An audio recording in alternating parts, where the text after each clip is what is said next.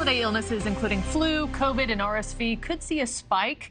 All of this according to doctors. Tis the season. Mm -hmm. Stephanie Haynes is joining us live this morning with more. Stephanie?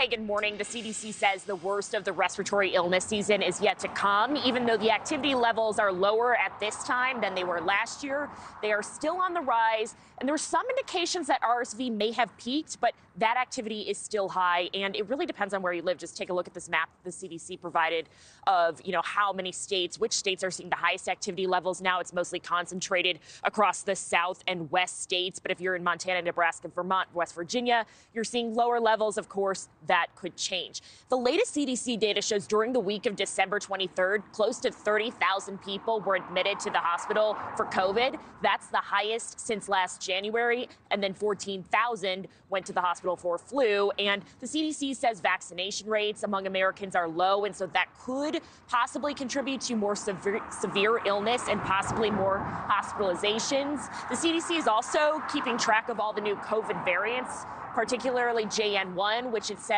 isn't any riskier than any of the other variants. And all the mitigation factors like vaccines and antivirals still work against it. But they always say, listen, if you haven't been vaccinated yet and you still kind of want to, never too late. You still have time. Markie, yeah, Adrienne. a good warning for families and parents this morning who are certainly uh, listening and keeping their family and, and children's health in mind. Stephanie Haynes, thanks. Thank you for watching. Go to newsnationnow.com to find News Nation on your television provider. And don't forget to click the red subscribe button below to get more of News Nation's fact driven, unbiased coverage.